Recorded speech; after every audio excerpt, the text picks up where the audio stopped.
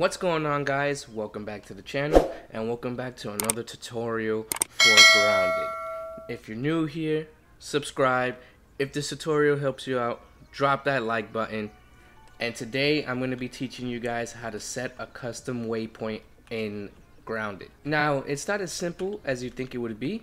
You think you would just press the map button and click somewhere on the map and it would set a waypoint. But as far as I know, that's not how it works in this game.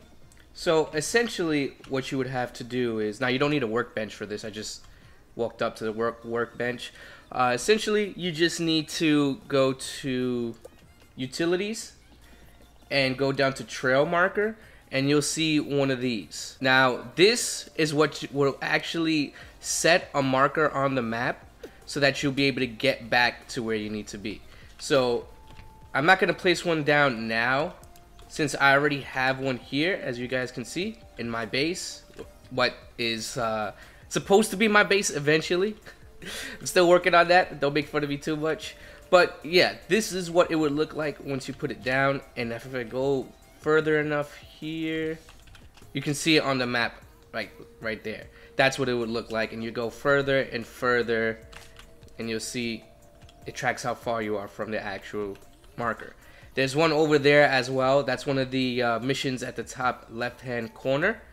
Um, that waypoint is at the oak tree. Once you set one of these down, you can actually customize the marker for it and the color.